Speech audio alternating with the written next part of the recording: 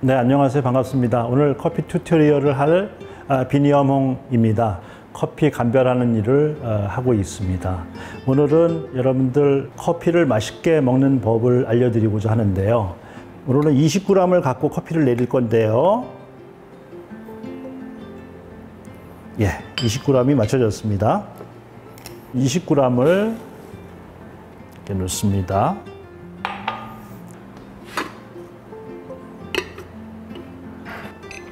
그리고 물은 처음에 할 때 뜸들이기라고 하는데요. 물을 이렇게 해서 여기 보면은 밑에 그 떨어지는 물들은 조금 한두 방울 정도 떨어지는 것이 가장 좋습니다. 그리고 이거를 이제 뜸을 들이는 과정이라고 하는데 이 과정을 저는 1분 30초 정도를 어, 뜸을 들이는 시간을 갖겠습니다. 그리고 이제 조금 있다가 1분 30초 후에 진행을 할 건데 총 추출하는 양을 50ml를 추출을 하고자 합니다. 그런데 1차 추출은 30ml 정도를 추출을 할 겁니다. 지금 1차 추출을 들어가겠습니다.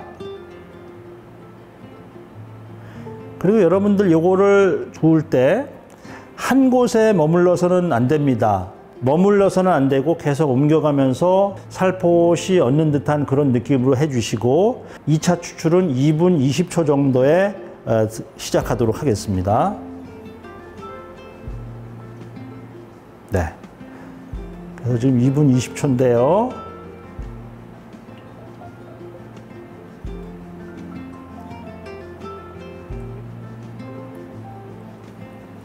지금 이제 2분 45초에 추출을 끝내고 지금 50ml가 추출이 됐고요.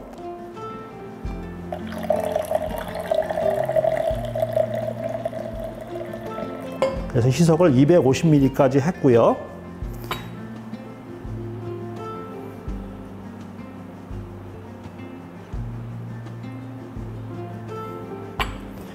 이제 맛있는 한 잔의 커피가 완성이 됐습니다.